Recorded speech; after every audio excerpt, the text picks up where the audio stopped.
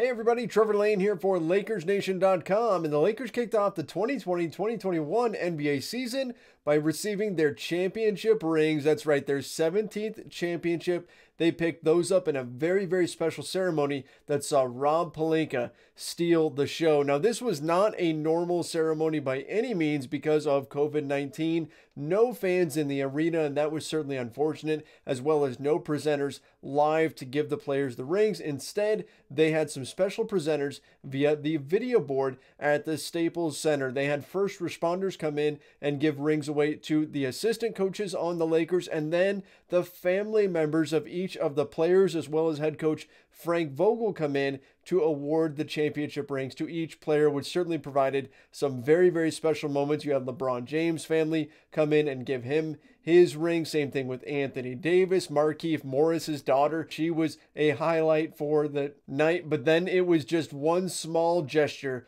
from Rob Pelinka that I think I will never forget, and a lot of Lakers fans will also never forget. Rob Pelinka throwing up the 2 4, offering up a prayer to the heavens for his best friend, former client, Kobe Bryant. And look, Kobe Bryant's imprint was all over their championship season. There was a win it for Kobe mentality that took hold. The players on the team, to a man, wanted to make sure that they honored Kobe in the best way possible by winning an NBA championship, and they did indeed accomplish that goal.